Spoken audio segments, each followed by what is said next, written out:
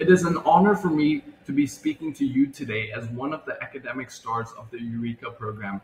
I would first like to express my heartfelt thanks to Eureka for hosting this workshop, and Professor Pelsman and all the academic assistants who had helped me during my short stint as an economics student. It was truly a rewarding learning experience for me.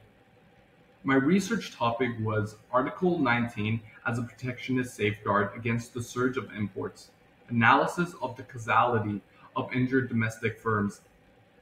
I was always interested in learning about the relationship between agriculture and economics.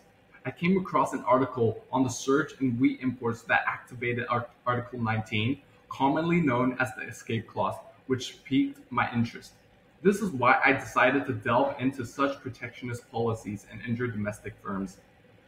The experience has definitely enhanced my understanding of research. Countless hours were spent poring over Google searches and academic papers to piece together my final research work. I see this as an absolute win for my future, being able to learn and understand complex economic patterns and concepts. This experience strengthens my belief that economics could be one of the field of study for me in the future. I want to conclude this short recording by thanking Eureka again, the professor, and the assistants. Without you all, I wouldn't have had this wonderful and rewarding experience.